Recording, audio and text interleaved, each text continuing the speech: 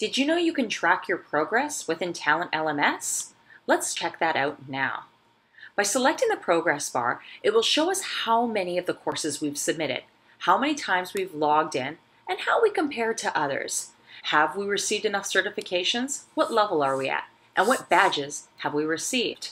This gives you a very quick snapshot on all of that. If you're part of Talent LMS and KO Sales U as part of a team, your managers may ask for this information from time to time. Best to keep up. The training infographic will give you everything you possibly need as a quick snapshot of what you've been able to succeed. Well done! Don't forget that there's also opportunities for you to change your profile as well. Choose a picture of yourself. Put a bio, bio in the information. And don't forget to put your mobile number in case anybody at KO Advantage Group needs to get a hold of you for any reason at all.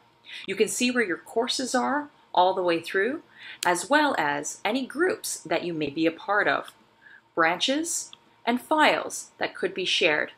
Don't worry if these areas are empty right now. Most of the time, we keep the files right within KO Sales U. Welcome to Talent LMS.